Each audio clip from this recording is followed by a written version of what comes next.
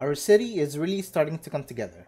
At 49k thousand population, we've maintained an extremely healthy 92% traffic flow and our economy is impeccable with a massive 30 million bank and 50 weekly income.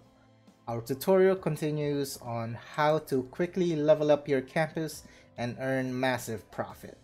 This is Captain Ahvious and welcome to our ninth episode of our Let's Play series, Organic Road Layout. This is a preview of the end result of this episode. But before we start, I want to give everyone who has been following the series a heads up that I did some offline work. What I did was I went ahead and unlocked the tile with train access and did some terraforming, added extra water facilities, pipes, and the basic things that no longer needs to be captured on video. I think everyone can appreciate and understand that. If you have been paying attention to the past episodes, then you are aware that the first thing we do when we create a new district or area is to establish our tier 1 transportation. Then we're going to add in our road layout skeleton while simultaneously creating our city park and new campus area. So first of all, why build a campus anyway? What are the benefits of having a campus? What are the different pros of having a generic university compared to a campus university. So a generic university has a small footprint in your city. It just takes one building and you automatically have a student capacity of 4,500. However, you will have to create multiple generic universities to maintain your highly educated SimScout. Nevertheless, the small footprint would give you more space to zone and grow your city. However, majority of the time, not every space of the max 9 tiles is ever used, so it is better to fill that large gaps with campus university. Pro 1 campus is earning profit at the end of the build. So when you achieve the prestigious reputation, your campus could earn more or less an additional 30,000 weekly income. A little extra money has never hurt anyone. Pro 2 Campus is that there are multiple creative design possibilities. This works much like Industries DLC, so instead of having the yellow industry zones or repetitive multiple offices around your city, you can create a variety of farming, oil, forestry, and or industries. The variety of things in your city makes it much more attractive and appealing to look at. Alright, so those are all great. So how do I quickly set up a campus? Tip number one, have around 9,000 eligible for university education before making your first campus. Then, when you build your campus, deactivate or delete the current generic universities which will force all the students to transfer to the new campus. And that's how you get to the minimum requirement of 2,000 attending students to reach the prestigious reputation. If you build your campus too early, before having roughly 9,000 eligible for higher education, then you're going to have a difficult time to level up and the campus expense will take a toll on your economy.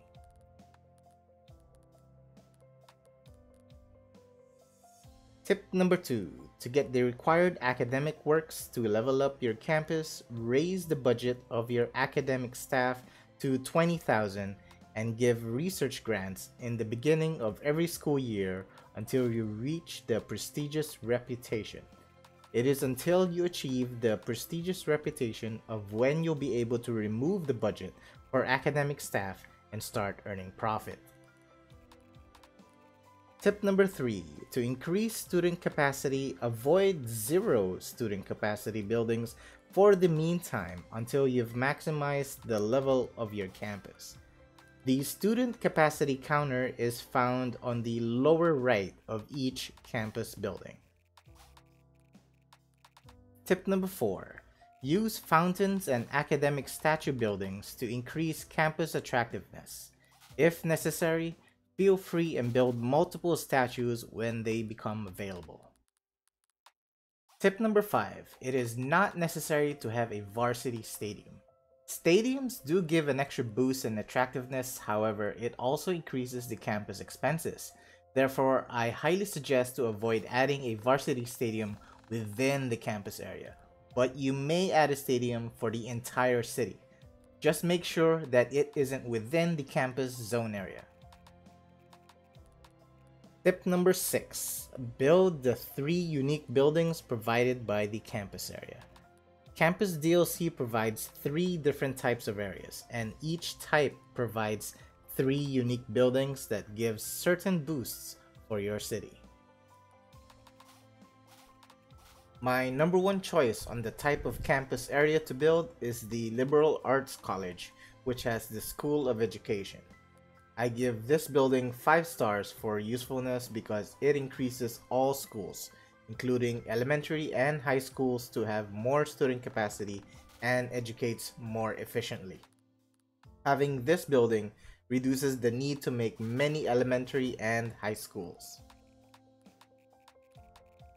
There is also the School of Environmental Studies which reduces garbage accumulation, another 5-star building.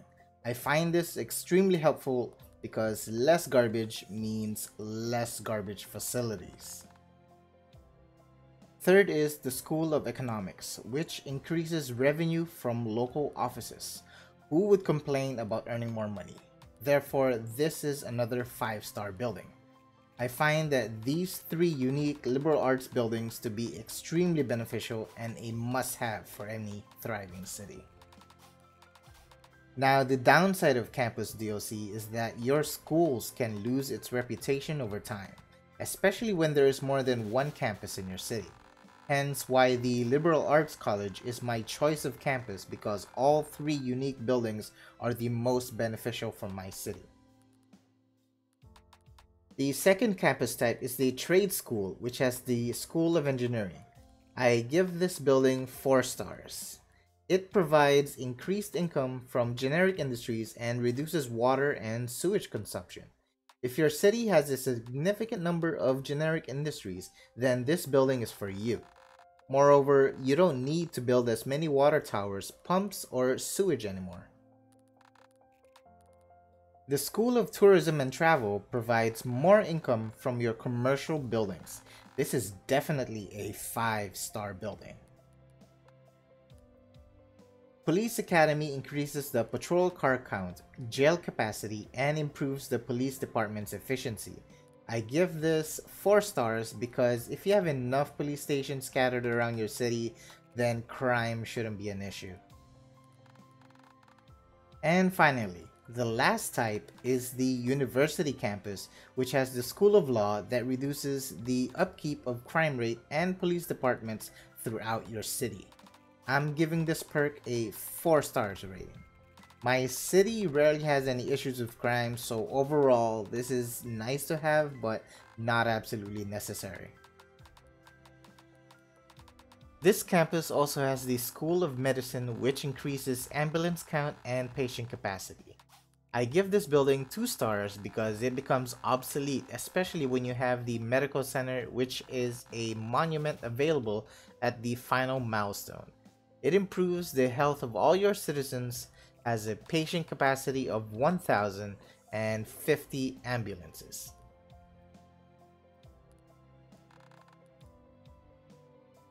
Lastly, there is also the School of Science that increases revenue from specialized industries while reducing pollution and electricity consumption.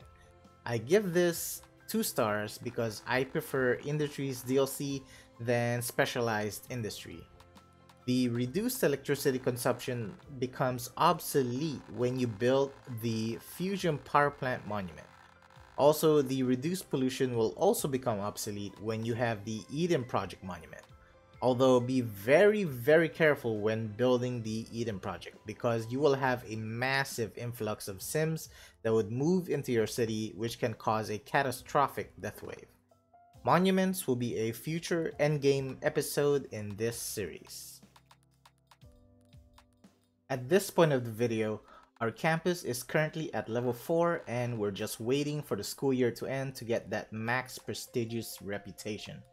The entire time, what we've been doing is after each level up, we've been giving grants to add more academic works, adding more student capacity and attractiveness buildings that is required for the reputation level up. And while we've been waiting for each school year to end, around the campus area, we've established a new district with a stadium that isn't part of the campus. That stadium is completely disconnected from the campus area. Therefore, it is a city stadium.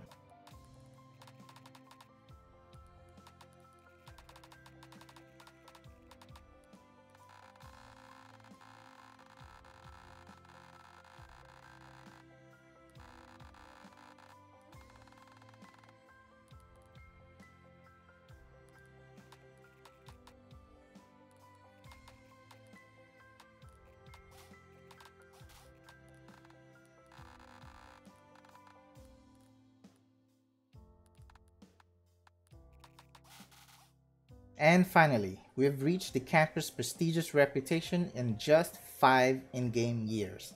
Now we can remove the budget for academic staff and if you can afford it, feel free to keep giving 50,000 research grants and occasionally change the category of the grant. There is a total of 48 academic works which you can collect for each campus type. However, there are no in-game value if you collect them all, and if you actually just play normally, you'll eventually collect them all anyway. And as a reward for achieving prestigious reputation, the city is awarded with a unique campus museum. There are three unique campus museums in total, and this is where all the academic works that you've been collecting are being stored. Now let's check the status of our city. Our new campus is earning about 30,000 per week and our population is now at 61,000 and yet our traffic flow is still at 92% and our bank and weekly income is just unbreakable. Since we just unlocked the museum, let's immediately put it to good use. I will replace the Posh Mall with the museum then we are going to add a tram line for our in-district mode of transportation and lastly add the final touches of the overall district.